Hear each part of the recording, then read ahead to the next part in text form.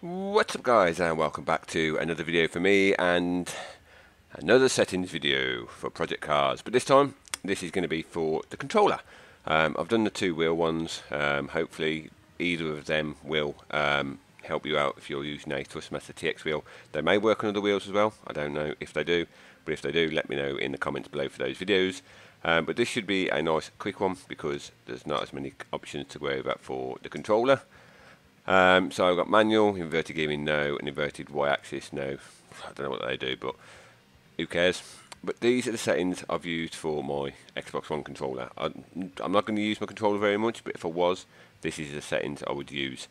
Um, they seem pretty good um, for me. i would be happy racing on tracks with these uh, without a problem.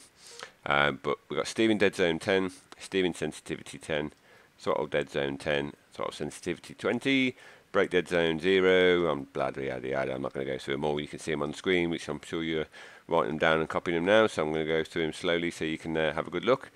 Um, speed sensitivity and controller filtering, sen uh, filtering sensitivity, um, they probably took me the longest to work out how the hell to set them up, but it feels pretty damn good. Uh, forward fee feedback, I've got an 80. Apologies if I'm mumbling because it's 3 o'clock in the morning and I've spent nothing but the last two days working on settings for the wheel and the controller, so you'll have to forgive me for that. Uh, controller input mode, I have no idea what those do, but I've left it on 3. Um, advanced is on. Um, and the only thing I've turned off on advanced is opposite lock help. You can turn that on if you want. Um, I, I found it better for me with it turned off. Um, but those um, settings for me are pretty damn good and, and, I'd be happy and it's what I'd use if I was using a controller uh, full time.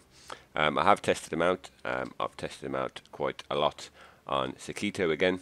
Um, this time using the Formula Gulf. I wanted something with a bit of grip so I could see if the uh, settings were working and it wasn't just the car.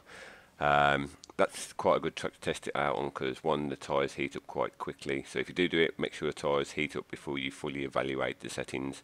Uh, don't judge them when the tyres are cold um, and they work out really, really, really, really damn well for me.